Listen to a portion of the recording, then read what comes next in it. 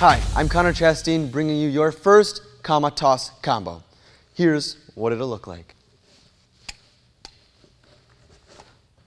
So now let's break it down a little. First two tosses are two backwards tosses. So you'll need your left hand first or your right hand first if you would like to go to the other side. I'm doing my left hand, so backwards toss. Next is your right hand toss. Then right away, that same last Kama is going to toss right behind your back. Just remember to get it all the way through before you release it. And then always have a spot to aim for. Like these two tosses, aim to rotate and land in the same spot. And the behind the back toss, always try to aim a little bit off of your shoulder. So one more time, super fast. And facing this way.